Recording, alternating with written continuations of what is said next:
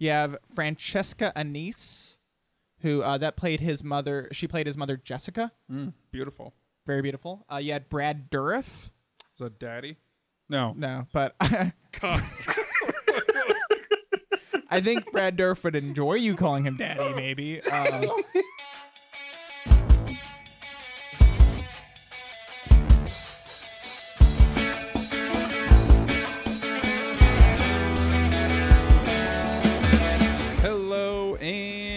welcome to the Critical Breakdown, the podcast where we start at the bottom of Rotten Tomatoes and work our way to 100% fresh. I'm Scott.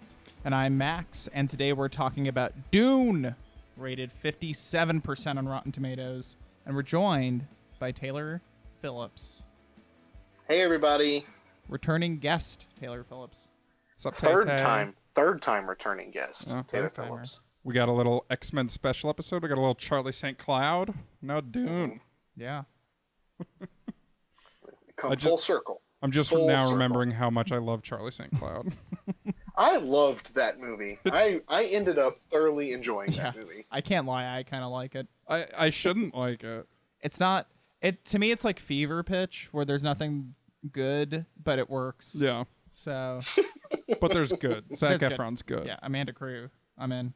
Yeah. I'm in that It's- crew crew. It's better than Dune.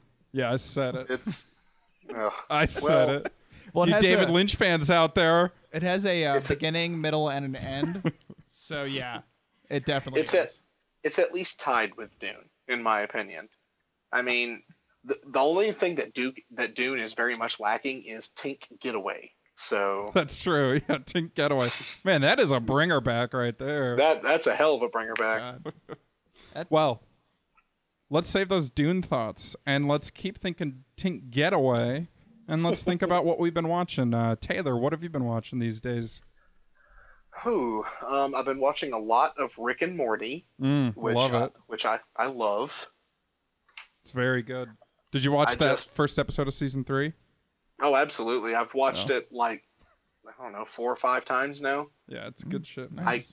It really is, and I did not think I was going to enjoy it near as much as I do.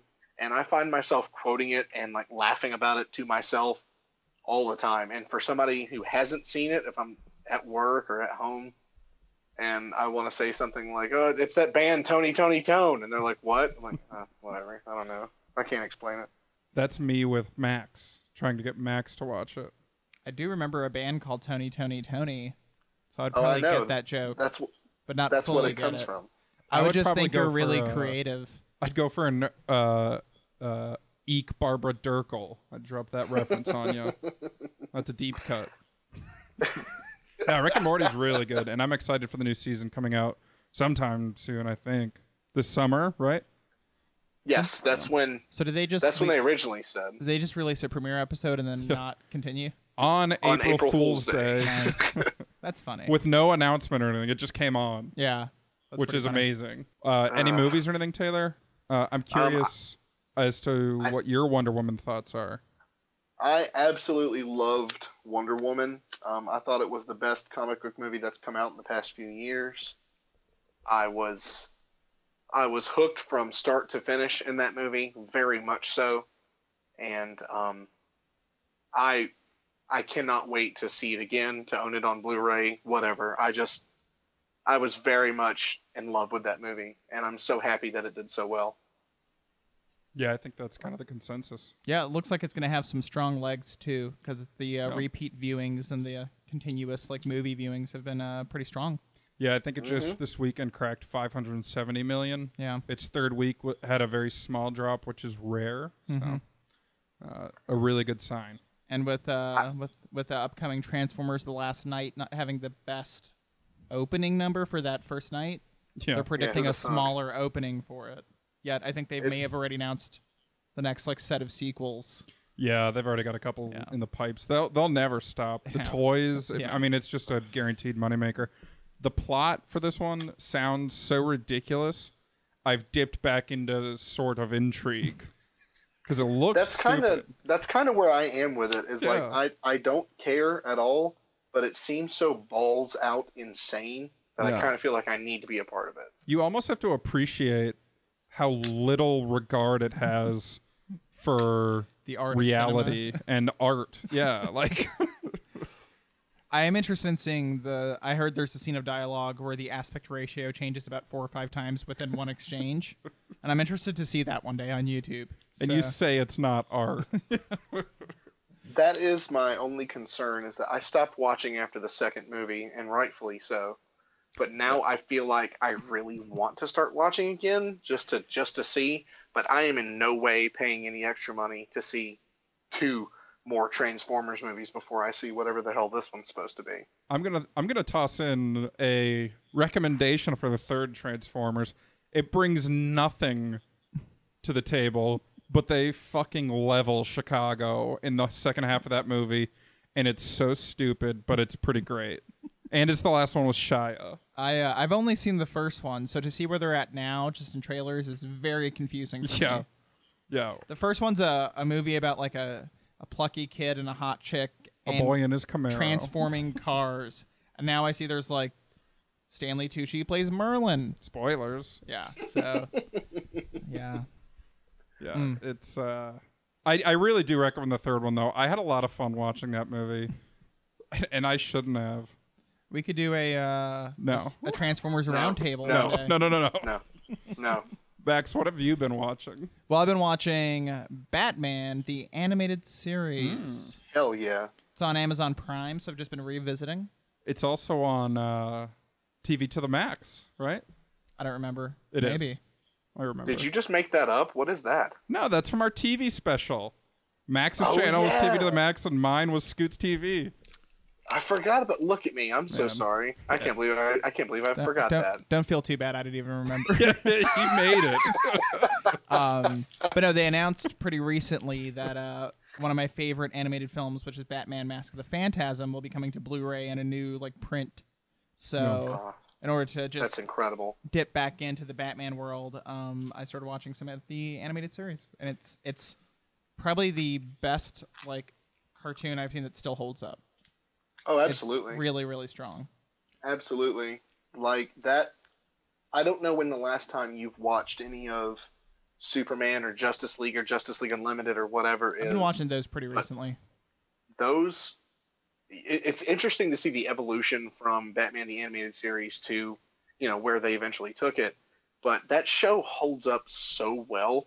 The animation is great. The voice Yeah. acting is really good. Like it's just it progressively just gets better and better and better as the seasons go on. It's so so good. and it, it's fun just to see like little references in there and then hear like mark hamill with that joker voice just from the get-go being Yeah. amazing so I have a question as someone totally uninitiated to this. Mhm.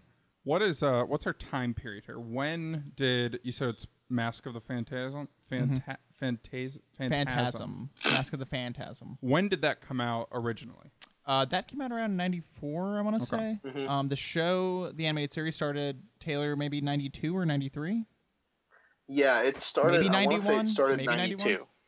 yeah around then early 90s was the tv show it started maybe a season after the x-men animated series Sure. um, or maybe just around it at the same time. But The uh, uh, the, the, X Men Batman, animated series was the springboard for all of those. All Yeah. of those cartoon, those comic book cartoons was for the '90s sprung off the X-Men. Yeah, Yeah, oh, yeah. Um, And the X Men one has aged a lot, but it's still fun in like a a, f- Yeah. a weird way. You've told me a little Yeah, about but it. the uh, the Batman one holds up really really nice, and part of that is uh, it has very like well crafted scenes. Uh, a lot of like playing with like light Mhm. and uh, painting within the scenes. Um, Oh, it's cool. it's really cool. It's uh, it's kind of a beautiful cartoon still, and like the actual cell animation blends perfectly with the backgrounds, which is nice. Yeah. So Yeah, I was just wondering because I feel like there's a whole subset of animated superhero movies coming out even still yeah, that I totally ignore because I just assume they're not yeah. up to snuff or they're kind of money grabs or they're aimed for children. So I was wondering if this was one of the newer ones. Like last year, didn't The Killing Joke come out? And I know it got bad to mixed like reviews. mixed reviews. Yeah.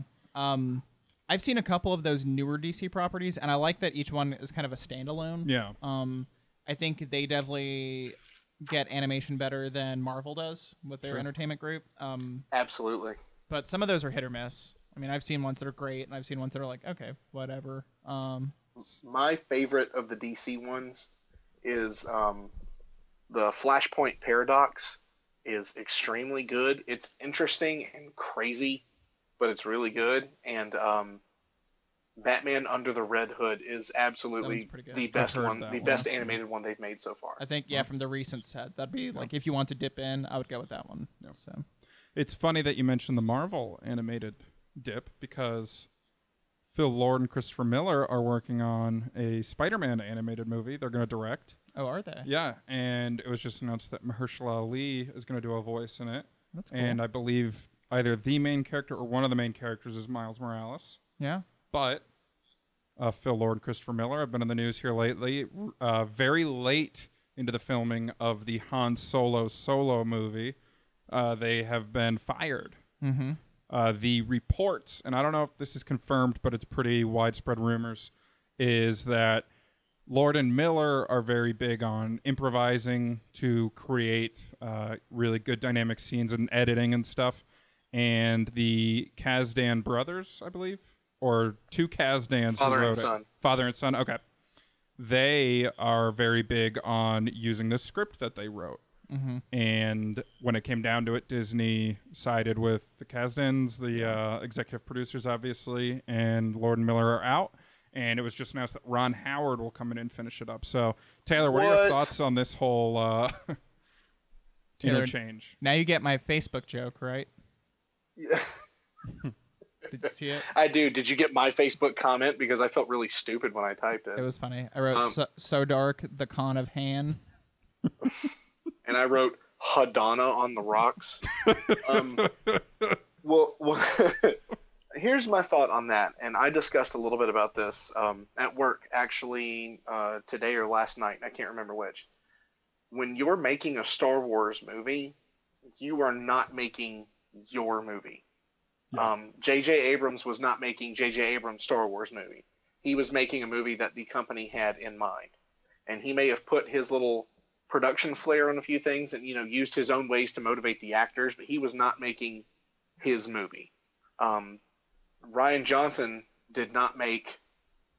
Uh, wait, did he direct Rogue One? He directed Rogue One. No. He- Um, Wait, who was that the director of Rogue One? Am I stupid? Ryan Gareth Johnson- Edwards. That's it. yeah. Yeah. Rian Johnson's doing Whatever. episode eight, right? Yeah. Oh yeah, that's right. They're not making their own movies. You're making the movie because I mean that movie made all of the money on the planet, and you're not. They're not just going to give it to to these guys and yeah, you know, do whatever you want. That's fine. They're It's, it's like when the company gives you a nice company car, it's your car to use and drive and But get, it's not your get car. work done with, but it's not your car. mhm. I Star actually, Wars is the company car. I have an interesting analogy here. Actually, I'm realizing.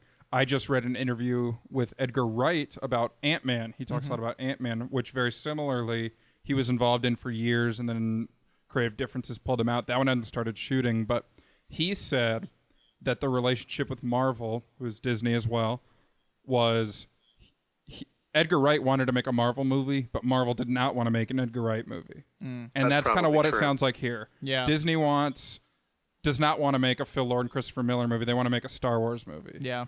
What I think's really interesting is Ron Howard tonally is not close to those guys. Like those guys are Not even a little comedic actors, and Yeah. they're or they're comedic directors, and they're very good. I love pretty much everything they've been involved with. So this will be interesting. They did a really interesting master class with like uh, some group in London, but if you watch it, it's like two hours of them giving a PowerPoint presentation, and it's the funniest PowerPoint presentation I've ever seen. But while while watching it at the time, I remember thinking like, like I get it to pick for a big, like a big property, but I don't get it for Star Wars or Han Solo. But I was like, there's, it'll be fresh and cool and neat. Yeah. And I mean, half the time they're talking about how they do a lot of improv and uh, they I think half of the presentation was improv as well. So it's There's I- your sign. yeah. I, com- I completely get how Yeah. like Kath- Kathleen Kennedy and the uh, the Kasdans were just Yeah. like this isn't working. It just seems so weird to go so late into the production and make that call. there's a movie. There's a movie that Fox and Kasdan and all of them. Nobody has the balls to make, and it's the real Han Solo movie. That's essentially just. Uh, if you could make it like a '70s black exploitation movie, with Han and uh, Lando Calrissian cruising the galaxy and just slaying hoes. I think that that movie would be absolutely incredible, but nobody would ever touch that movie. Yeah, Just like bar fights, shootouts, them picking up random alien chicks here and there, and Somebody- that's the whole movie. Somebody actually made a short concept years ago called Black Star Warrior, which was Lando in a black exploitation film. Oh yeah, I remember Yeah. that. It's pretty funny. It has some recognizable like small screen talent in it. So we'll we'll link it on the blog post. yeah, we'll throw it up in there. but I think that's really interesting. It's funny because we were talking with Kara, another former guest of the pod, and I was saying how well Ron Howard's such a big director. I'm surprised he's not getting his own film. Then when you think about it, Ron Howard hasn't really been churning out hits for a while. Rush was very Nope. good, but Rush it was flopped. really good. Yeah. Uh, Cinderella Man, I thought was good, but it's nothing spectacular. A Beautiful Mind was great, but A Beautiful Mind was 2001. Apollo 13 was 1995. That's a Willow long time. was 1988. Yeah. Yeah, it was. Exactly. Well, So- he also did um, Heart of the was it called Heart of the Sea? Yeah, in the heart in of the, sea, In, in the Heart of the Sea. That that wouldn't do too well, did it? it did terrible. That one, well, I don't know, because he was the executive producer and everything, but it had a lot of trouble at release because they moved the release date not like a week, but like a year, because of Star Wars. Ironically, when Star Wars: uh, The Force Awakens was announced, they had to move in the heart of the sea to uh, try and recoup anything. What's really interesting is Ron Howard was on George Lucas's pick of his short list of directors to direct oh. The Phantom Menace. All of his friends at the time, who were also directors, like Francis Ford Coppola, were like, "These are your movies. You you should do them. We can't take them from you."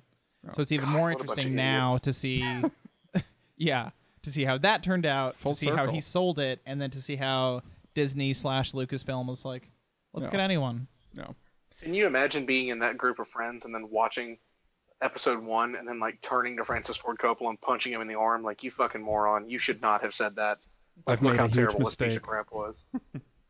Um, what's interesting though, you mentioned Rogue One, and that one also kind of went through some really late. I don't know if it had a full director change, but Tony Gilroy came in and did some rewrites, some reshoots, and he got paid a lot of money, and he did a good job. Yeah, But I don't know. It it's interesting. Uh, you don't see this kind the, of the concept of a reshoot does not scare me. Most movies go through reshoots, but whenever you drop your directive team, you know, into production, that's a that's a BFD. But Yeah, and when you have one director in doing the initial shoots, and then you're like, all right, new director, Yeah. new shoots, like it'll be interesting to see how the Han Solo film turns out compared to like Yeah. Justice League, where Yeah. they're like ninety eight point eight percent done versus Yeah. like ninety five percent done. yeah. So and it- the circumstances are so different too. Mm-hmm. Um, there's there's not a lot of um, unrest in what Yeah. Zack Snyder was doing with Yeah, yeah. Justice League. so- and most people are like, either like I like Zack Snyder and I feel bad for him, or I don't like Zack Snyder's work but I feel bad for him. Yeah. So it's a much more supportive situation. well, I don't think Disney comes out looking very good with this. No, but Um, I think they'll Yeah. wash their face, tuck their I, was- I think they'll get over it. Yeah, blanket they'll be over fine. them, and they'll Yeah. yeah. just wake up the next day. Okay. the Han Solo movie will make like 1.8 billion. I saw I saw someone on Twitter was like, "This is going to cost Kathleen Kennedy her job," and I was like, "No, it's not. she she won't even remember this a year from now." She'll be too busy uh, eating lunch on her giant pile of Yeah, money to be yeah. any at all worried about that time she So. had to switch directors. You know what I like about you, Taylor? You said lunch. What's that? She's eating lunch on her giant pile of money. You don't eat dinner on a pile of money, man. too It's unrealistic. Yeah. And breakfast, you're just waking up. You don't want to have to get traction on a pile of money. Yeah, sleeping No. on a pile of money just isn't a good idea. No, no. It's bad for your back. Yeah. All right, so so last week Max challenged me to get a top five list of the movie pugs out there. This has become surprisingly relevant, and we'll show why in a little bit. But I have that top five list. Taylor, are you ready? I don't know that I am. Well, Max, are you ready? Are you starting with five and working your way towards one? Yeah, I'm gonna do five to one. Okay, I'm ready. Is this the critical? Is this the critical pug breakdown that you're working on This right is now? the critical pug breakdown. Yeah. Yeah. Pug Yes. list five. All right, let's go. Pug list. All right, number five is The Hobbit: The Desolation of Smaug. Now, a little uh, uh, behind the curtain, there aren't many movies with pugs. Let's be real. I ruled out The Secret Life of Pets and Hotel for Dogs, and these movies that are about dogs and animals, a dog's purpose. I don't know if there's a pug in there, but I didn't even consider it. Desolation of Smaug has one scene where five street puppy pugs run around and eat a bunch of bread on the ground. They're in the movie for about as long as Stephen Colbert was in the movie. How about that? so that's number five. Number four, I want to come back to. Ooh. Ooh. Ooh. Number three, Pocahontas. That's where this actually came up. Animated pug. Animated pug, but Mm-hmm. a pug nonetheless. Yeah, Percy yeah. was his name. Percy the pug. He's actually looks really funny in the Who voiced animation. him? Uh, he didn't have a uh, spoken role, so uh, I imagine an effects team voiced him. Let's go with Christian Slater. Christian Slater Yeah. did the voice for Percy yeah, the Pug. I like that. That's I wonder, correct. do you think Christian Slater came back for Pocahontas 2, which Percy was also in? I would hope so. Journey to the New World. Yeah. Actually, I think that is what it was called, wasn't it? Yeah, it is. There you go. Nice. That's why you're on the pod. Number one and two, though, this is why you show up. This is the pugs you show up for. Kingsman, the Secret Service. Hmm. Taylor, did you see Kingsman? There's a pug Yes, in the movie Kingsman. poster. Yeah. Oh, it's great. And Yeah. Max, I don't think has seen. I have it not still. seen it, but I know the movie poster. Everyone could not stop laughing at the fact that in the corner there's a pug face. That's JB the pug. His name is Jack Bauer. And part of the training to become a Kingsman is you have to raise a dog from puppyhood. And the uh, uh, Eggsy, the main character, wanted to get the German Shepherd, but he didn't, and he ended up with the pug. It was like the booby prize. But he ended up really loving that pug. There's some adorable scenes with that pug. I want to watch Kingsman again now. Reading this made me Yeah. want to watch it again. And as a pug dad. uh, for Max just pulled up the poster and it's amazing. It's just like you wouldn't even see it if you were just walking by. Yeah. He kind of blends in with an explosion, and then you zoom in, and there's a pug. Number one could be none other than Frank from Men in Black. Mm. Of Uh, course. I get more people calling my pug Mickey Frank. Uh, I get that a lot, and I think Mickey appreciates it. But um, he's a very satisfying pug role, and the the reason he's number one is because he's a key character in the Men in Black. The first two, I haven't seen the third, so I actually don't know if he was in the third. But uh, JB was just kind of a plot point in number two, and Yeah. Percy was just kind of a running gag in Pocahontas. So that's why that has those rankings. Did he get some credit for actually looking like your pug too? I don't know if uh, Frank from Men in Black was given credit, or do you mean on my list? On your list. no. no. Okay, because he he probably looks the most like your pug. Do you want to know how know how iconic Frank from Men in Black is? I didn't even Google him. I knew he was number one. That's fair. But let's But circle you, s- back. you skipped one. I skipped one. Did you notice that too, Taylor? I, you know, I have my fingers held up right here, and I've only got four fingers held up on a list That's of five. So The number four movie pug of all time is in none other than Dune. no way. No way. We truly did not know this when we picked these movies. We picked these movies long ago. Yeah, I couldn't have known about the setup for the top five movie pugs, so it worked out really well. Yeah. But uh, the name of the pug is unknown. It is not considered canon to the Dune book series because it's only in the movie. Yeah. But well, there, there's some Then really I won't be reading the books. Yeah. I'm out. scratch scratch that off my list. um, there's some very satisfying scenes of this humble pug Mm-hmm. dutifully sitting in Paul Atreides' lap and uh, Papa Atreides. He's and- like a, a lap dog, yeah, fully. naturally. I think he only walks on the floor in maybe like one scene. Yeah, and I think it was when uh, shit was going going down. Yeah. Yeah. But do you guys see how now we're talking about Dune? It's uh it's the bringer back this week. Let's let's bring her back number two. yeah. it is. Max, what's the plot synopsis for Dune? A duke's son leads desert warriors against the galactic emperor and his father's evil nemesis when they assassinate his father and free their desert world from the emperor's rule. A duke's son is a weird way to lead that. Yeah. I mean, Um, I guess it's as accurate as you could be. you can maybe say like a duke's exiled son. That's about as Yeah. as more specific as you can get. Know.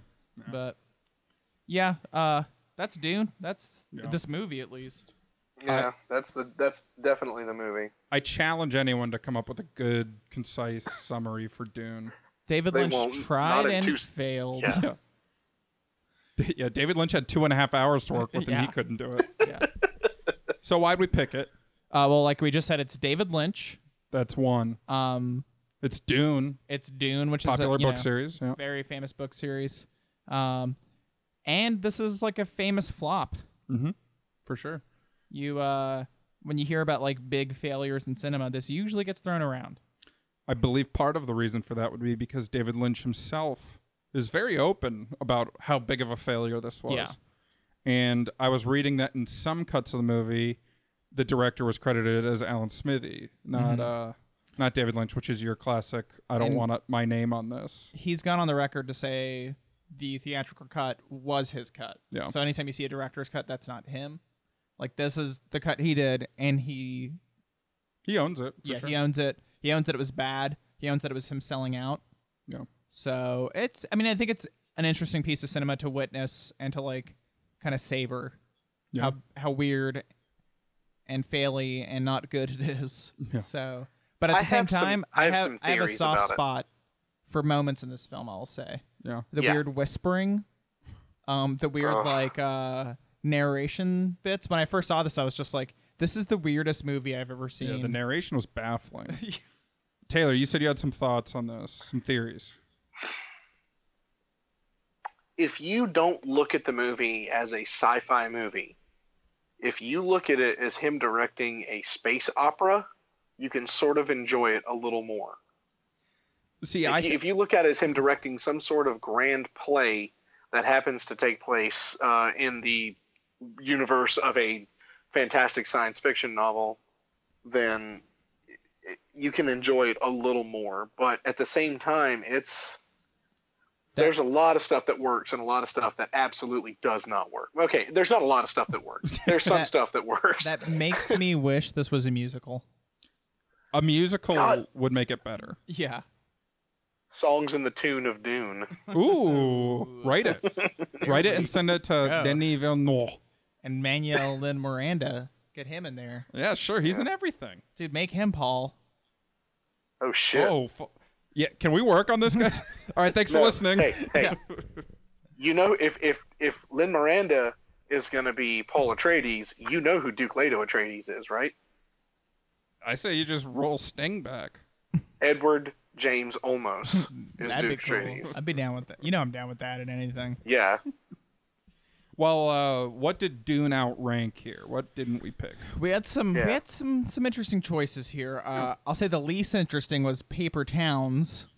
Uh, see, I'm such a sucker I'm for good. young adult novels and coming of age stories that I don't think that's the least interesting on this list. My uh, Yeah, I, I like young adult novels too. I don't like John Green in the slightest, so I don't like looking at him, so we're good. he makes me uncomfortable. That's why we liked Charlie St. Cloud so much, is because we love young adult novels. But see, John Green, Yeah. he just makes me uncomfortable. My brother one time out of the blue texted me and said, "John Green looks like he has a secret underage girlfriend," and I laughed about it, and it's just stuck with me for years. Um, I've I can't say I've ever seen John Green, and I've actually never read or watched any of his novels or adaptations. you're just going up to bat for the genre. Yeah, Yeah, Like, let's not say Paper Towns is the least interesting on this list. For me, it is.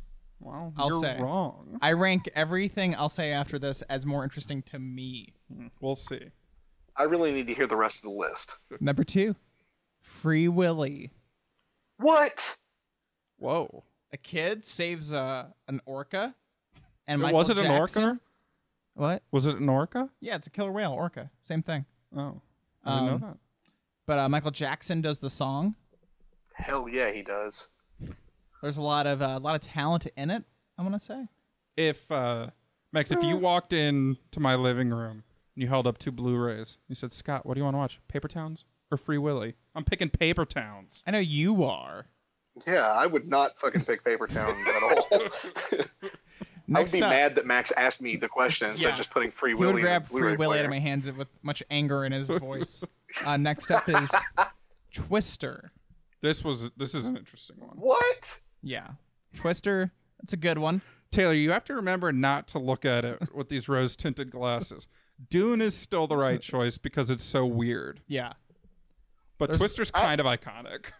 Yeah, and me, I think let me make it abundantly think- clear. I have no regrets in watching Dune. I have no regrets, of course, about being on the pod. But we could have watched Twister and Free Willy, man. We could have had a double header. And Paper Towns.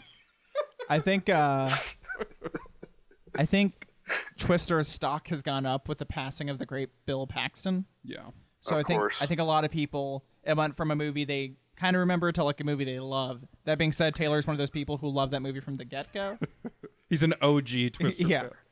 I'll say this: Twister stock has gone up having seen the day after tomorrow. That's That true. movie was That's stinky very garbage true. butter. yeah.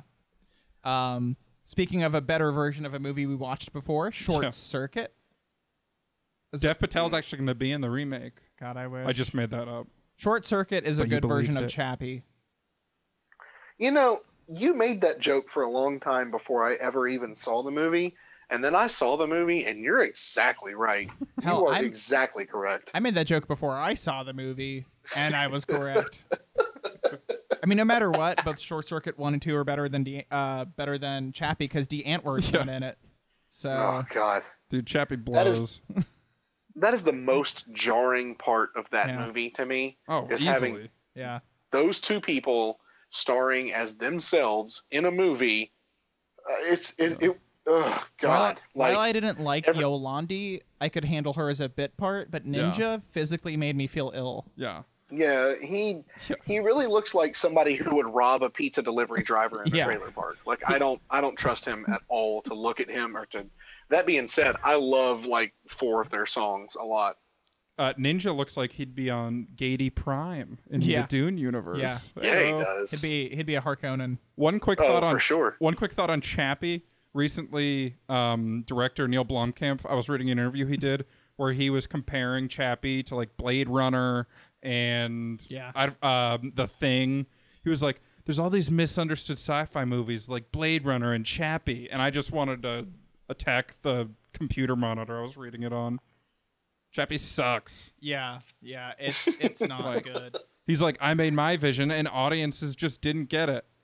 And it's like, that doesn't mean your movie's good. I hate that argument. Yeah, the You can't just is- say, this is for the fans. yeah, this is for the fans. It's a terrible argument, but so is, we made a good movie, just nobody gets it. Yeah. um, and and somebody got it in the next one. Uh, Tomorrow Never Dies, the Yeah. James Bond film. I don't even know which one this is. This Michelle one, Yeoh? yeah, Michelle Yeoh. Um, Yeoh? The bad guy in this one is like a multimedia conglomerate, and I think he's doing something with trying to incite a war with China. Sure. This is like Clintonian '90s era, so you had to come up with like really concise threats. This is like pre huge terrorism issue. Yeah. So I want to say he he tries to he has like a secret submarine and a weird hovercraft. Sounds like a Pierce Brosnan Bond movie. Exactly, exactly. Paper so, Towns is more interesting than that. I disagree. This is Cara Delevingne. We don't get that. We need to watch her. We need Unless to figure it out. unless she's wiggling the whole time. no way. Yeah, W- What about her mermaid role in Pan? that's the best thing I've seen her in. This has been a very self-referential episode of the Critical Breakdown. Taylor, uh, wh- which of those would you watch the most? You want the most to watch? How am I wording What this? be- between Paper Towns and Between all of them, All of whole these line. films. we said a lot of films in the past thirty seconds. Yeah, we did. Oh my gosh. Look, I'm gonna go ahead and say this. I don't want to watch Paper Towns. Okay, that's just regardless of what film I'm picking, I'm not picking that. That's good for you. So much for that sponsorship, Paper Towns. because we picked Dune. yeah, we got to talk about Dune instead. Absolutely, that's the movie I wanted to watch, and we watched it. We sure did. Well, I actually don't know if I watched it. I was there. it happened near me. I wish you guys knew what the Scott confused face looks like because there was Oh man. it, it jumped to that a lot. He he also jumped to the the no face, just like the not not feeling it. I was uh I was disgusted at, at parts of this movie. Parts of this movie are disgusting. Oh, for sure. Let's talk like cast and stuff though, Yeah. because there's like a weird amount of stars in this movie in This is, incredibly uh, small roles. 1984. Yeah. So a lot of these people had small roles because they were kind of just starting. were just small. Some were already established. Uh, this is the premiere role, like the debut of Kyle MacLachlan. Yep. Um, I don't know if it was Virginia Madsen's first role, but she's the first face you see in this film. Yeah. Um, oh yeah. So this is she's now in the pantheon. yeah. It's her welcome. second appearance. uh, you have Francesca Annis, who uh, that played his mother. She played his mother Jessica. Mm, beautiful. Very beautiful. Uh, you had Brad Dourif. Is that daddy? No. No, but God. I think Brad Dourif would enjoy you calling him daddy. Maybe um, he is famous for being. Can that be the intro to this week's episode of of the critical breakdown? It's just is that daddy, and then the music starts up right after that, please. um, he's famous for being Worm Tongue in Lord of Oh. the Rings, as well as Chucky. He's Chucky in every single um, Child's Play and Seed of Chucky, whatever movies they've done after that. The bride of Chucky. and now uh, you you also had um, Patrick Stewart, who wasn't Yeah. wasn't Paul's dad, but he's daddy too. Um, when Sting Sting's in this movie, he Sting- he yeah, wears when Sting. he, he he wears metal underwear for his daddy in the film. Basically, uh, you have Dean Stockwell, you have Max von Sydow. Sydow, however you say it. Yeah. Looking young. Really young, like the youngest I've ever seen him. Yeah. Um, not really. Probably was. I think I've seen him in something before this. But uh, you had Alicia Witt. She's a tiny baby in this movie. She's like 4 hmm Uh, and then you had Sean Young. And then uh, the actual daddy was played by Jurgen Prochnow. Prochnow. yeah. He was in something else we watched. He was in Judge Dredd. he Ah, played one of the yes, bad yes. guys in Judge Dredd. So Full circle. It's a huge cast. There's about 50 other names I didn't mention, and literally, He was on the council in Judge Dredd, wasn't he? yeah, Yep. he was. Yep. He was So- the corrupted council member. Yeah. Yeah, you know, I say that from memory because I fucking love Judge Dredd. That movie's pretty good.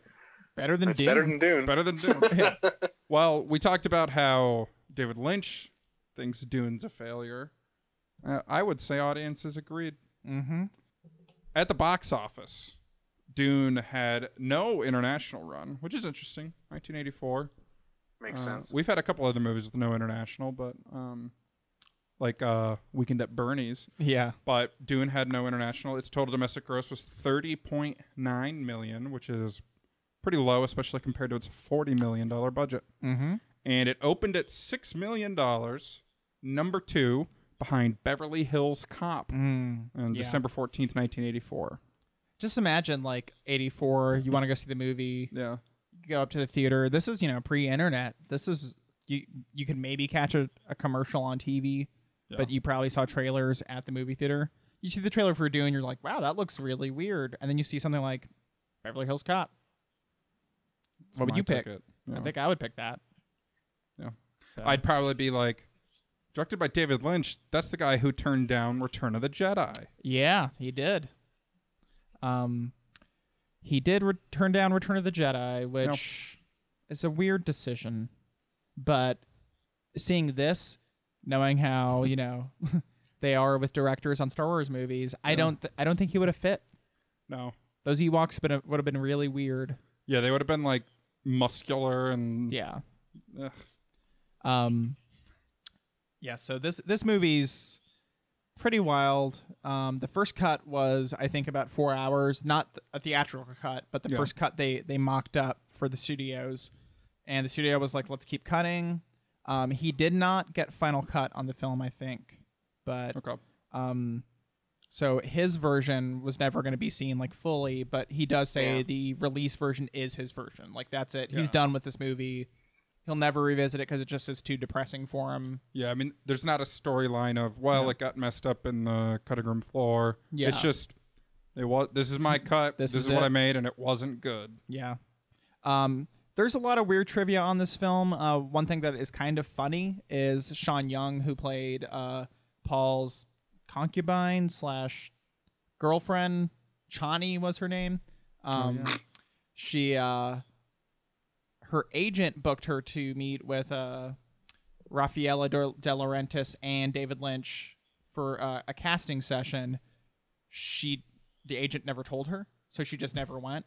but then they all got stuck at the same airport and stuck like waiting for the same plane just by chance. And so David Lynch and the uh, producer, uh, they were like, "Why did you ditch us?" And she was like, "I never did. What are you talking about?" And so then like the whole thing was cleared up. So she was almost never in the film, which really isn't consequential because her character is Yeah. just in the movie. Man, this movie would have really fallen apart without her. Yeah. Can you So- imagine if they were uh, just trying to make small talk while they were there, and Sean Young turned to uh, David Lynch, and David Lynch looks at her and says, "Tell me of your home state, Sean." and she keeps having. Uh, yeah, so I mean, we could talk about if there's things we think that really works with this film. Um, Well, That is going to have to be the show. If we talk about things that don't work in this film, this podcast can be two and a half hours long. well, let's just like the movie. Yeah. Let's start with just like the 50,000 foot overview of the plot. You have all these galactic families. It's all coming down to the planet Arrakis, also called Dune. also called Dune. They say that six times Yeah, in this movie. yeah. and the spice melange, Mm-hmm. which is used for like space travel. It's the only place it's found. So then there's this whole espionage plot where the emperor of the entire known universe, I believe that's actually his title, Yeah, I think so. Yes. wants to set up the Atreides family for failure by pitting them against their already greatest rivals, the Harkonians or whatever, Hark- Harkonnens. Harkonnens. Harkonnens. So he sets up this like situation where the Harkonnens attack them, and then Paul Atreides and his mom get exiled and meet some Dune Doonies. Some Fremen. Goonies. They That's- ride yes. some worms. They fight back, Mm-hmm. and in the end, we're looking at Emperor Paul Atreides. Yeah, that's that's Yeah. about it, man. I mean, there's obviously a lot of meandering and details within that, and we'll talk about some of it, but that's your at the absolute highest level. yeah, yeah. That that's so, it. So now let's talk about what works. This will be a shorter half of that discussion, but Taylor, what's one thing that Dune really worked for you? One level it worked on. Well, okay. I- noticed this from the beginning when I was watching the uh, the beginning credits when uh, Toto has that sweet score that's showing one, which was yeah, Toto did the music for this movie. Um, Almost all the music. Uh, Yeah, they they- did. They did the whole soundtrack except Brian Eno Yeah. did the theme, The theme. the prophecy theme. Mm. their theme really resembled something else to me, and I can't figure out what it might have been. I was trying to place it the whole time, and I could never figure it out. Um, but the, there are two names that stood out to me in the credits. One was Kit West, and he did the uh, mechanical special effects. Okay. And I was like, I know that name. He worked on Young Sherlock Holmes, Raiders of the Lost Ark, Dragonheart, and Return of the Jedi. Wow. So he has a pretty uh, pretty good resume. And the other guy was Carlo Rambaldi, and he did creature design, and he did creature design also on Close Encounters of the Third Kind, Alien, E.T., the '76 version of King Kong, and then Silver Bullet. A lot of good And stuff. Silver Bullet also stars a person from this movie, uh, a guy named Everett McGill. He's one of the bearded um, Fremen that Paul encounters Oh yeah, towards yeah. the end, which was he will always be the werewolf pastor from Silver Bullet to me. Well, you're kind of Always. touching on on some of the technical aspects of the movie, which you have to take the timing with a grain of salt. It's 1984, but Mhm. other than some incredibly odd decisions, the mechanical and technical aspects of it were fine. Yeah. Like the uh, the the spice mills or whatever they were getting picked up by Yeah. the um, ships. That was pretty cool. I Yeah. thought that was cool. Uh, the worms were very cool. They gave them a very proper sense of scale in my Mhm. mind. Yeah. Um, they were terrifying and they just behaved And- like you'd expect them to. to bounce off of this, um, for me, one thing that I really enjoyed is the strange technology. It doesn't always work, but I like that it wasn't just straight up beep beep boop beep like panels. At the time, everything else would have been, um, including Yeah. Star Wars, Star Trek. Yeah, so to see like weird, almost like Art Deco slash body technology. Yeah. Like to see a mashup of something different was at least like, oh well, that's kind of cool. Some of some of the time it works. Um, Yeah. when he's supposed to be like fight training and it looks like he's fighting an espresso machine. It doesn't work as well, but it's cool to see like this is the first time a body was covered in like a computer generated effect. Yeah. which was the shield. Doesn't necessarily work, but that's cool in a technical way. It looked insane. is- yeah, it's what got me about Kit West, him working on Young Sherlock Holmes, is that that was the first movie to actually show a completely computer generated character. Hmm. So it makes sense that this was kind of a stepping off point for him. yeah. And the uh, I loved the set pieces in this movie. The set pieces looked huge, and they looked like pretty, pretty grand in my opinion. The only there's a problem decent is, sense is- of scale for most of them. yeah. I, yeah, would- I would say especially in the second half, Yeah, like when he's going all tribal. yeah, yeah. and like I like the uh, the set pieces in um, the Emperor's room when they have the space navigator that comes in. Yeah, that's And, that's a um, weird. That was very strange. It was like a giant vagina monster Yeah. inside an iron lung And I railroad think- car. They don't necessarily say this in the film, but I think it's like a humanoid based off of a human that is like lives in space or something. Yeah, So that like they're the ones who fold space. Yeah, they're the controllers. Uh, I wrote down the name of their group somewhere. It's like the spacing guild or something. Yeah, yeah. Um, but they're gross. They're like living in this liquid. You, we laughed at this because, um, and I actually do like it. It's kind of like a moment of levity. They're just like his protectors or its protectors bring it into the the emperor's throne room and is using some weird translator and is like, "We're not here." And it was just a funny moment that this giant, like school bus sized alien comes in in a giant tank with 20 dudes in trash bags and a microphone and just is like, "We're not here. You're not seeing us. the least and- covert entrance possible. And it, it does give you at least a sense of like, this is different. This is weird. yeah. And if you're like us, you're like, this is funny. At that point, we're Yeah. not out on the film. We got Yeah. out shortly after, probably. But, yeah, didn't take much. but at this Uh, point, it's Now, like, uh, if this is a tongue-in-cheek film, I think that line would have been like delivered very well and gone very far in the movie. Yeah. This is not a tongue-in-cheek No. film, though. What? I What? wrote I wrote down that the style of this movie is Terry Gilliam meets Tim Burton. that Ugh. gothic style of of uh, Tim Burton with that like long, far away, uh, sort of matte painting, crazy look of Terry Gilliam, like his sci-fi stuff. yeah, there's definitely influence there, similarity at least. I mean, David Lynch is.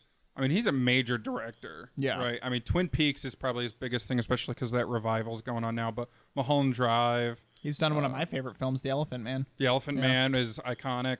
Uh, Lost Highway, a lot of people love. So he clearly has a vision and he knows how to do stuff like this. I just don't know what happened here because a lot of the craft of the film I found just very muddy at times. yeah. yeah, Absolutely. While we're sticking with the positive, though, the set piece of the Atreides family folding through space, I thought was actually kind of cool. Yeah. They show up at this big like train station, basically, where everyone's waiting to get folded, and Paul is in wonder, and so is his pug in his lap, and the whole family's like a little nervous about it because it's definitely a foreign thing. And they do this weird stuff where it's like a PowerPoint filter, almost like those screen wipes of a PowerPoint Yeah. like circling and they show the vagina monsters like folding it around. But some of the stuff they do with like the horizon and the colors was actually pretty cool. It was kind of Yeah. an enthralling scene. You got to think before before CG was what it is now. You have to make these things look cool. You have to make them look different, Yeah. and I think they did a good job with that. And they like you said, they did inventive things. They tried to make it cool Yeah. and different. Yeah. They didn't go I- the safe route at any point. No. I really like like the uh, shot when the navigator enters the Emperor's room. It was a handheld shot because I rewound it and watched it again. Uh, it's just they open those big doors and that school bus smoke-filled train car comes in and it just backs up in perfect like and as it backs up you really get the size of the room and how big the uh you know whatever the hell that thing is Yeah. before they open it up and I liked that shot quite a bit. And there's a few other random shots here and there where I'm like, that's just really cool. It's that shot is really good, but And, it uh, doesn't Jumping off it that, doesn't save anything. I, I wasn't crazy about how the ships themselves looked in the movie, Yeah. but once the ships land and it looks like it's like landing gear, and you realize that's a giant column and like these tiny people are coming out of it. I like the sense of scale on the ships. They're Oh yeah. Freaking huge. They they did a terrible job showing how big they were though when they were showing the dialogue within the ships. Yeah, it's like a tiny. They'd show cockpit. a tiny cockpit that looks like it seats four. It was like a Camry, and then when they zoom out to outside, it is a massive ship. Yeah. Like one of the set pieces, they were going to one of those spice crawlers and saving the people because it was getting, it was about to get hit by a worm. Yeah. And they were saving folks, and like two guys get in the cockpit, and I was like, "That's it." And then it turns out there was like eight other people on that ship because it's a much bigger ship than it Yeah. looks. Um, Yeah, that's, they ask him how many people are inside the crawler, and he says 23. Yeah. And he was like, "Well, bring them aboard. Damn the spice." And I was like, "23 people are. There's gonna be some people Yeah. sitting on laps in there. Like that's Yeah, not gonna yeah. fit." You're, I mean, Well, you're right. That's a good a good way to pivot into things that didn't work for us. So there's Yeah. some continuity definitely there with with things like that. That's like a minor gripe I think in the overall Yeah. picture.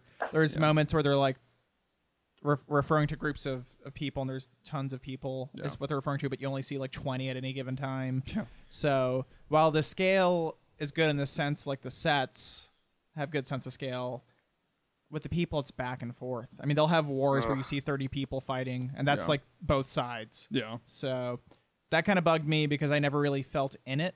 There might be one scene where there's a bunch of people marching, but I think they might have blew their people marching budget on that scene.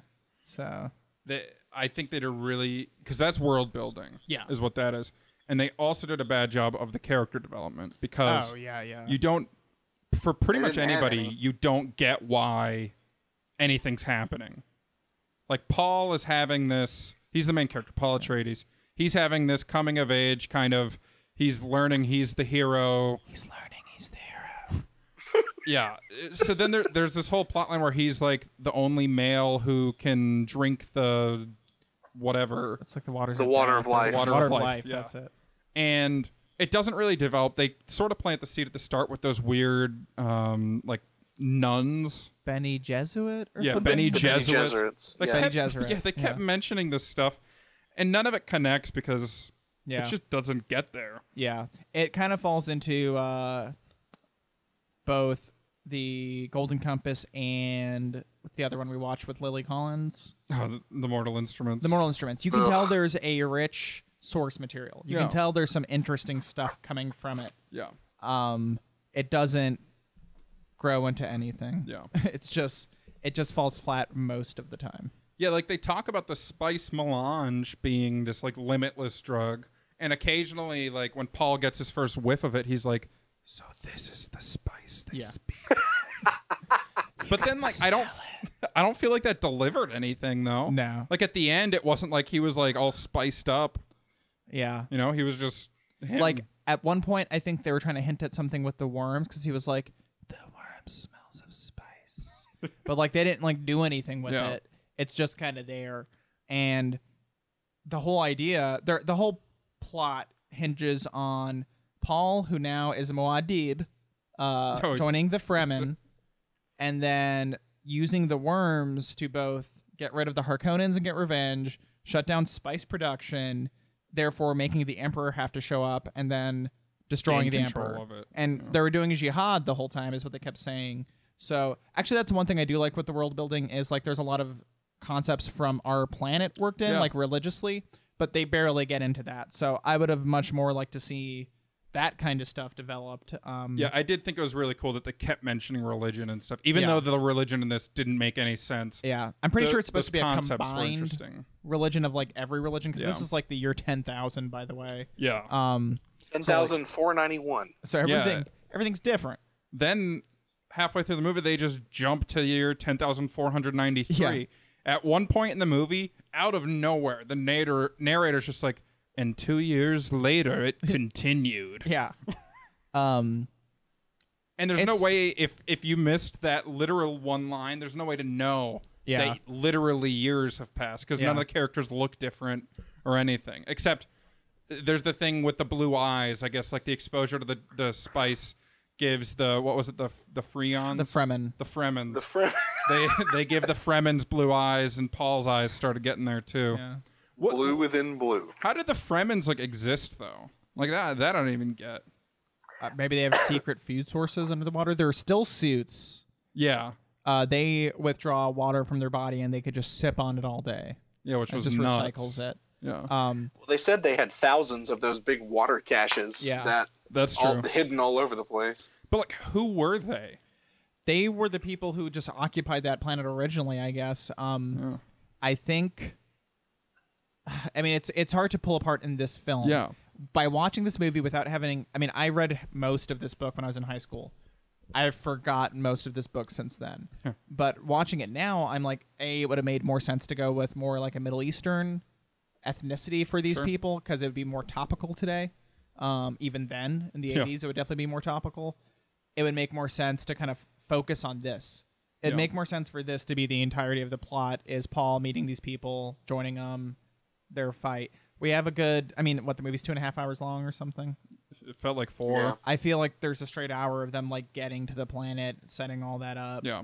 doing all that. Well, there's some interesting Yeah, ideas there. And yeah, it pa- just bogs down the whole story. part of that is to try and build this universe because Yeah. you are trying to build this grand scale. Let's talk about the biggest failure of the movie, in my opinion. Giedi Prime, which is the planet of the Har- Harkonnens, Harkonnens, is yeah. easily the most disgusting thing we've watched on this list. I and we've watched a Dane Cook movie. Yeah, I could have handled just the set and world design because it's supposed to be a like a stark Industrial. difference from yeah, Yeah. your main characters. It's industrial. It's green. It looks like a boss level out of like Mega Man or Sonic Yeah. Two. It's like a Um, maze of, of like yeah. industrial rooms. No problem with that. Yeah. But the first scene is your introduction to the Duke of of Prime, Yeah. and he's like having a boil lanced or something, and His- this creepy doctor is like, "Your skin is perfection." He's like, it's a pleasure to drain your boils. Yeah. and he's like eating or something or like chomping. Yeah. And, and then Sting shows up. His two nephews were there. Everyone in this planet's ginger, by the way, which is an Yeah. insult to gingers among anything. as a ginger, yeah. like everyone here, it, they just look shady. People have a shaved like reverse mohawk. Yeah. Everyone except Sting. Um, and this dude's just like, you gotta go, like, fuck up the Atreides house, Yeah. blah, and it's like very overtly homophobic. yeah.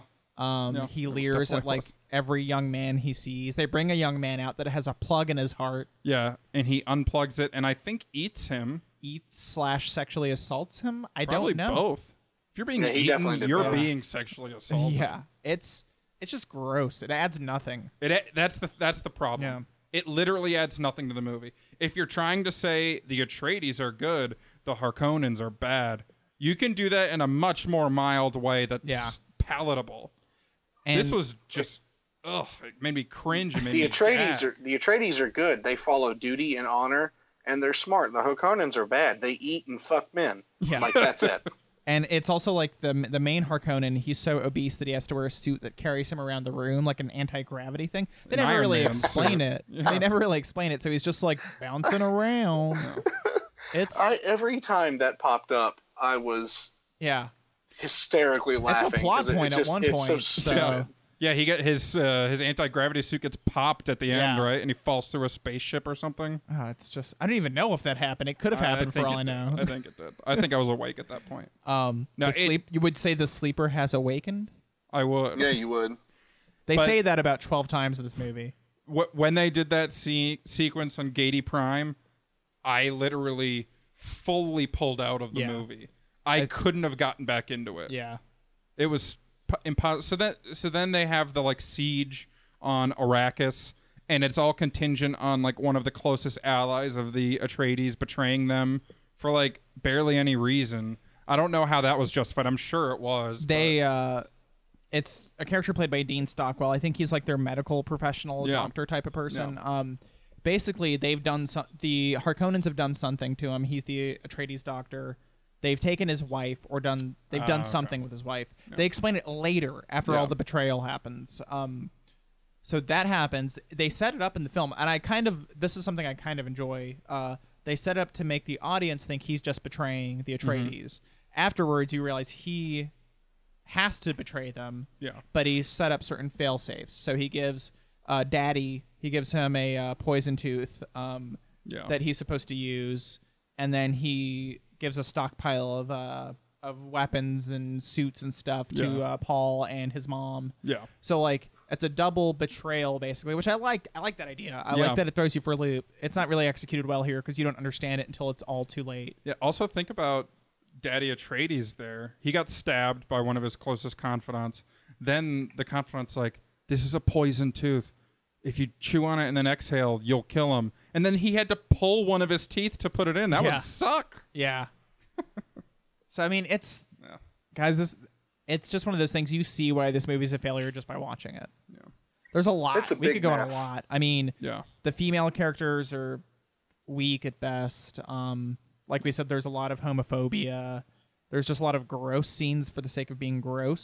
Sting was useless. The the most important thing Sting does is he wears a metal bikini bottom at one point, Yeah. and that's because the producers freaked out at the last second and decided they didn't want him naked. He was originally going to be nude, and he was cool with it. Um, Of course he was. He Sting. yeah. So, and that scene's really weird. He's just in a giant like steam bath and walks out in metal underwear, and he's And like, his uncle "I'll just, like, take care watches of him." this." Yeah. It's. I mean, there's so much. It's all weird with so odd. And those are basic story points. And it lost itself in the details so far that it failed to tell Yeah. a coherent story. So uh I'm gonna I'm gonna jump off this to talk about to jump way back to my what I've been watching in preparation for this film. I watched a little documentary called Jodorowsky's Dune, and it's about the uh, the filmmaker. I think Alejandro Jodorowsky is his name. He's in a lot of iconic cult films that most people have not heard of, like El Topo. Um, Okay. And there, there's a lot. I mean, I could go on ab- about that, but he's a very avant-garde director. I believe he's Chilean and French, but he got his start in Mexican cinema. Okay. He's an actor director. He was actually one of the filmmakers slated to make Dune before David Lynch got on board. This documentary I watched is amazing. One of my favorite documentaries I've watched in a while because this guy is knuckin' futz. um, he's definitely an artist. He actually has a lot of respect for David Lynch. Um, and he assembled a lot of people, including uh, the artist Mobius, who is a French comic artist who's been very influential. I want to say he might have some involvement with a Valerian, but I'm not really sure. Okay. Actually, he might not. But he's Okay. had a lot of involvement with like French comics. Sure. Um, then you had uh, H.R. Giger, who went on to create the Alien Yeah, yeah. design, as well as David O'Bannon was involved, who also went on to create Alien. He was the other guy with Ridley Scott. Um, Okay. And you had a lot of crew that kind of that were assembled for this movie. Uh, Chris Foss is one. He did um, some starship design, I think, in Guardians of the Galaxy. Wow. Uh, and he's done like a lot of Taylor. You know Chris Foss. We we've looked at his work before, but uh, Absolutely. um, there's a lot of like talent involved, and they made this giant book of uh, of Dune, like all storyboarded out. That's where the script existed. He assembled like this in, insane crew. Pink Floyd was going to do all the music for Atreides. This other metal band was going to do all the music for Harkonnen. That's really it's, cool. There's just like levels and levels. Um, David Carradine was going to play uh, Leto Atreides, Daddy Atreides, and then Wow. uh, uh, this guy's son was going to play Paul.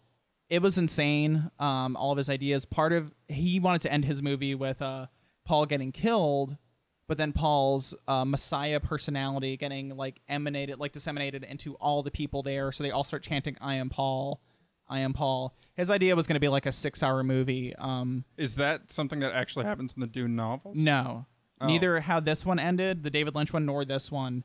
Um, I will say like this Jodorowsky guy was, was he's he's weird. He's definitely like an artist who wants to do his own things. He basically said like he doesn't care if he takes the source work and does what he wants with it. That's just what he's going to do. Like the book is something, the film is Yeah. something else.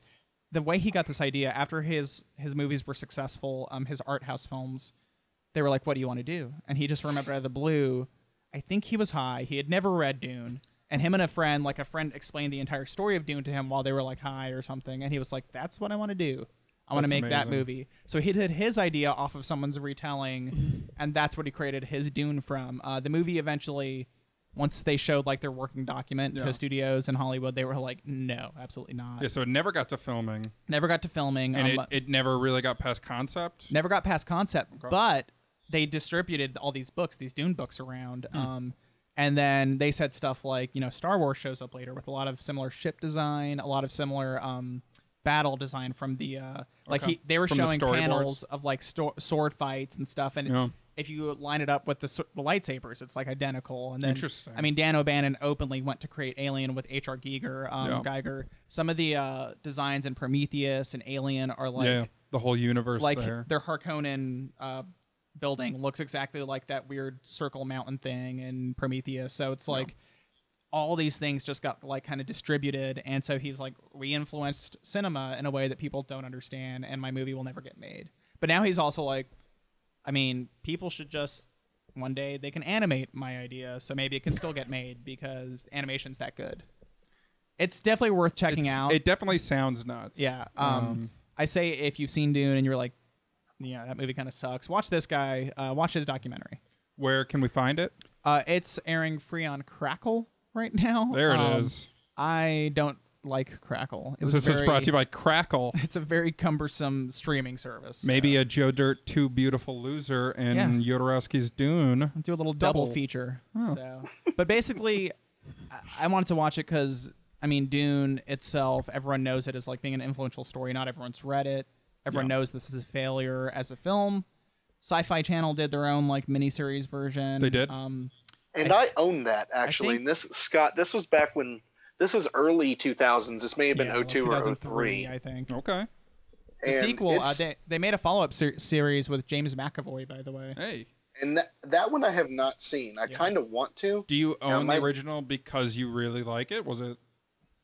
Let's say yes. Now, I own the um I own the uh the miniseries because after years of insistence of my father making sure he wants you know he wants me to make sure I read all, a lot of the same stuff he likes, and he loves Frank Herbert. He's read the first three books I think, and um he was like this is e- extremely faithful to the source. Okay. But in order to do so, they had to make a miniseries where I, I want to say it's at least six hours long. I want to say it was week long That makes And, sense. I think um, it was. and it's it's good. It fleshes out a lot of details, except it's on a TV show's budget. Yeah. So a lot of Yeah, the things, a lot of CG. Yeah, a lot of Early not good CG, CG, except yeah. it's extremely colorful. This uh, David Lynch's version's very black and dark, except for muted. a few set pieces. Yeah. Yeah. This one is very bright and beautiful, and I like it quite a bit. I really do. It's got uh, the biggest name in it is William Hurt, oh yeah. but uh, Yeah. it's it's Does got he William Hurt as Leto Atreides. Daddy Atreides. and it and it's got um Scott, did you ever see Ace Ventura 2 when nature calls? I have. Okay, Not. do you know the guy Cadby, the uh the big fat dude that uh Ace Ventura is following around? I haven't seen it. The sweaty Oh, I thought you said you did. Oh shit. I did it in Um, a tricky way. yeah. yeah, you did. I haven't. Um He Dean The dude that they- you. the dude that they got to play um Baron Harkonnen is naturally big and fat and he he sort of chews the scenery nowhere near this guy in the 84 Dune. But he um Is that he the was only big thing and that fat guy and was gross. chewing? It was It was just I, I like it a lot, but because it it has no narration, it has no That's a win. internal monologue. What do you guys think about this uh, this new reboot they're doing? Yeah, I was going to bring that up, but I did want to say I What? can see how a series makes more sense for Yeah. Dune because you get like six to ten hours to flesh out characters and ideas and stuff. Mm-hmm. Whereas with a movie, you have to bounce along pretty quick. Nowadays, you can do maybe like a pushing three movie, but back in the '80s, I mean, you had to you really had to make it good to get two and a half. Yeah, and I mean to when I see a movie that's three hours long, I gotta be ready to watch it. Yeah. like it took me two tries to watch JFK, and in the end, I liked it. But you, a three-hour investment, it's still pretty crazy. Yep. Like to imagine a six-hour Dune, I want to cry. But yeah, so let's talk about the reboot, which has been announced, and I don't think any casting or anything's been done yet. But uh, Denis Villeneuve, who has directed Prisoners, Arrival, the upcoming Blade Runner 2049, Sicario, Enemy, all sorts of stuff. He's knocked pretty much everything he's done out of the park, and so they said, "Hey, give Dune a go." Yeah, let's knock him down a notch. Yeah. Nah. Um, Only He- if it makes into two movies. That's the only way it's going to work. Well, I was going to ask what you would think would make it work. So, would you take this story? I mean, this story is probably at least close to the book, yeah. and break it off at the like the siege of Arrakis when he gets abandoned out in With- the spice. Or? With this film, the '84 one, I Yeah. thought that was the most interesting part of the movie. However, I don't know with a reboot. I mean, with this, with you, you got a guy who knows how to make a good film. He's probably like Yeah. from the modern set of directors, one of the more talented ones with like a distinct voice in his filmmaking. definitely. Um, so I mean, it's almost like an analog to David Lynch in that sense, where you have Yeah. somebody with a very Yeah. distinct voice. So it's kind of I don't know if you're going for if you're going for two hours, truncate it. Either beginning it like the beginning parts, Yeah. or the second parts. Um, Yeah, I feel like if you need to cut it down, you can kind of start on Arrakis Yeah. and just say like, yeah, operations have been running, and now the Harkon- Harkonnens are going to come in. You can kind of do that. Then start you with lose yeah, some of the them, like, Atreides background, but yeah, yeah. yeah. Um, after I would say that you definitely need to stop it at when Paul becomes self-aware and fully becomes Muad'Dib. yeah, Like if you stopped the movie right there with him awakening, like let's say the last shot of the movie was him awakening from his life water coma with bright blue spice eyes. yeah, That would make an interesting shot, and then the next one could take place, and you could have some exposition about how they've been fighting for two years, and Yeah. you could do a lot of other. I mean, Now, I don't know if any of this is in the book. Let's let me go ahead and say this right now. I don't know if any of this is in the book. I, I don't really care, but I just think that if you, like, I think you could make it into two movies if you stopped it at the right part. yeah. yeah, and I don't think you should put the cart before the horse with a property that will be a challenge to adapt. You don't want to already start with two movies and stuff. Yeah. But it's really hard when my only experience with Dune is this movie. It's hard to Yeah. picture any way that it could work, even when you put my favorite modern director yeah. at the helm. Like I say, you'd be showing up for him more yeah. than Dune. Oh, easily. Yeah. Because You know what? Arrival touched me on such a crazy level. It's Yeah. so good. I would I would like to see definitely like a more diverse casting within the, s- the story. Like like absolutely. Riz Riz Ahmed would be a cool Paul. Hell yeah. You know? Yeah. Like I don't know, just just bring in some of these new talents we have coming up and kind of stray yeah. away from how they went with this one, you know? Like No, just try something no. new. You Well, give this me one- Kyle make it- MacLachlan this as one was Duke Leto. Atreides. yeah, that Hell would yeah. be cool. This Um, one didn't have like huge. it- It's not like Al Pacino. No, in no, you're right. You're right. But it's it's So very- now that we're talking about that, can we do Al Pacino as like Duke Harkonnen? yeah, or he could be uh, the emperor of the known universe. Yeah. Um, but no, I mean, you know, this one it definitely feels like a little bit of European theater mixed with, Yeah. I don't know, just like up and comers. Um, so it's an interesting It's bag odd. for '84. Yeah. But uh, Yeah, I mean, there's ways you can make it work. I yeah. think. I think with the right talent and a commitment to a vision, you can make anything work. Yeah. But if you're building it off of the David Lynch one, I don't see that path. Yeah. The only Now- thing in my mind that works for the Dune reboot is to the tune of Dune, our musical that we're about to write. Absolutely, I'm in. I'm in. I'm on in that. too. I Get mean- Damien Chazelle on the phone. This would also be a great property to bring back the Spice Girls. Have them do a little boy. feature song. I'm in. Um, real quick, just kind of our, our talk of reboots and series and movies. Uh, Sure. Kind of an analog to this. Uh, they just announced this week that uh, Watchmen's going to get an HBO series Yes. uh, head by uh, Damon Lindelof. I I don't want that to happen, and I know I'm stepping on your toes here, Scott, because of your uh your Lin- your Lindelof lost love here, but I don't. There's no I don't lo- wanna love see that. there.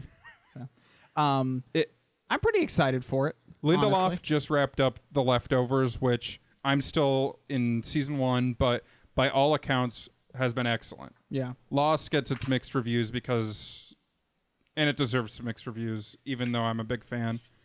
But Damon Lindelof's done some bad stuff too. I'm not. I'm not that sure if I'm all that interested in revisiting the Watchmen world. I'm a huge critic of Zack Snyder, but I thought the Watchmen movie was fine. Like, I don't watch the Watchmen and think, "Hey, there's a much better version of this out there." This seemed like a good version of it. So I don't know that- if I that's just a big question of who See, watches for- the Watchmen anyway. Yeah. uh, for me, this would this would be my Dune. Um, I love the Watchmen comic, and I think it's No.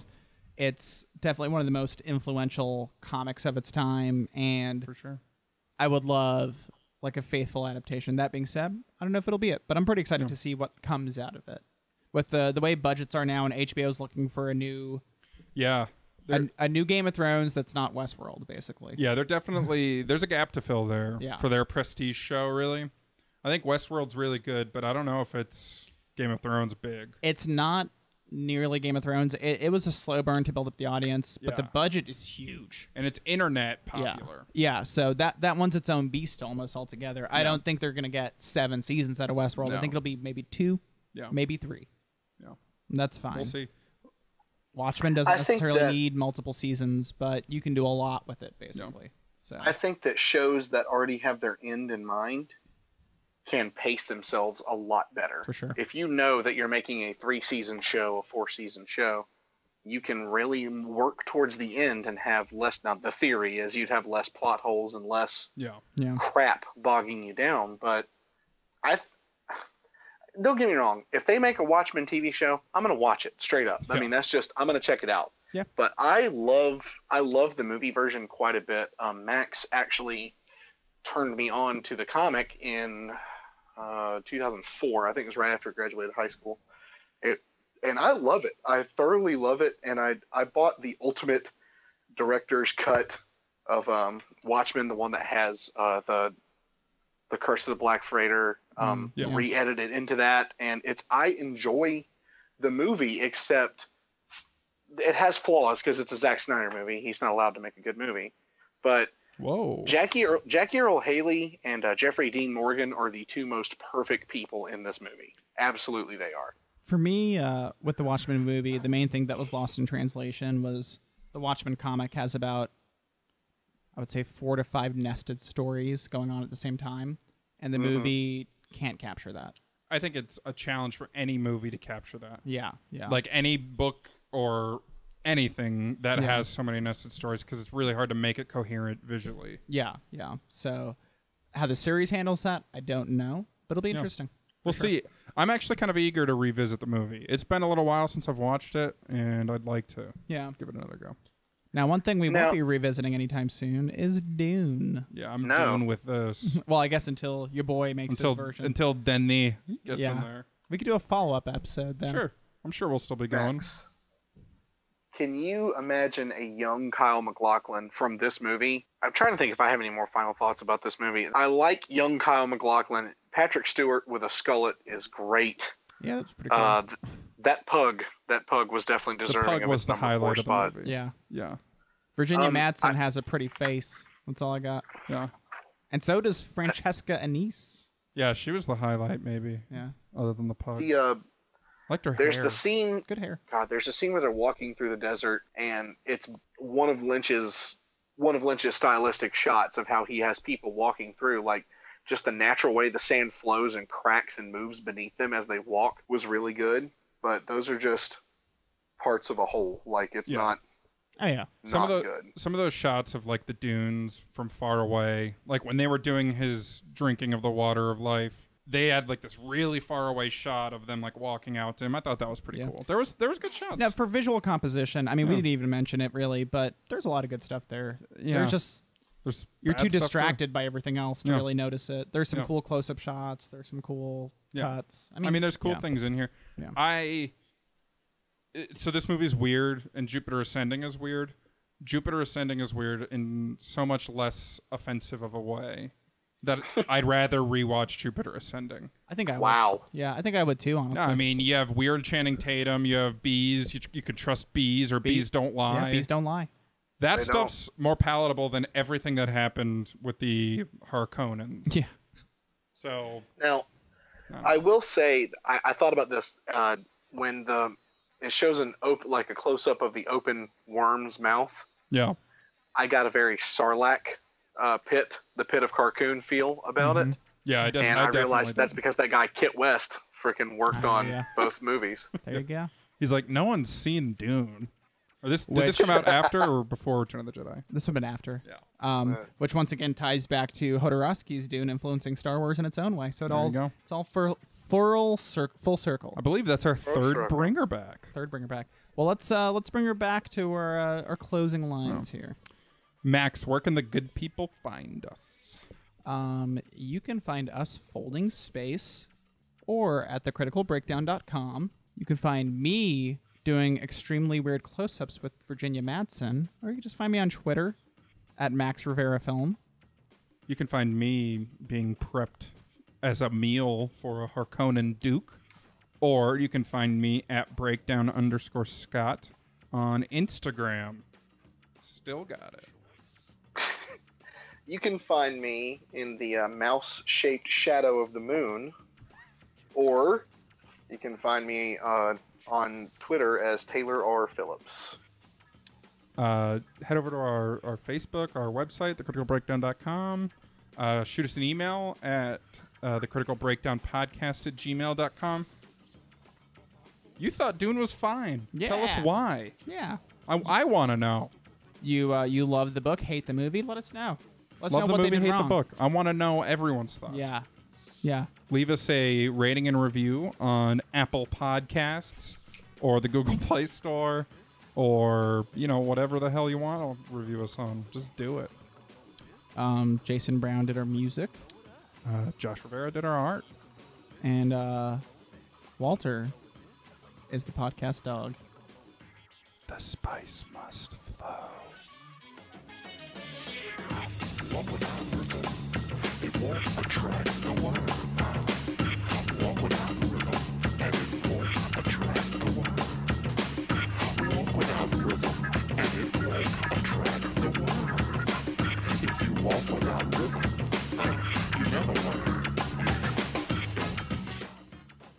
Next week on the Critical Breakdown. We're gonna get real medieval and watch A Knight's Tale. Rated 58% on Rotten Tomatoes. Saddle up.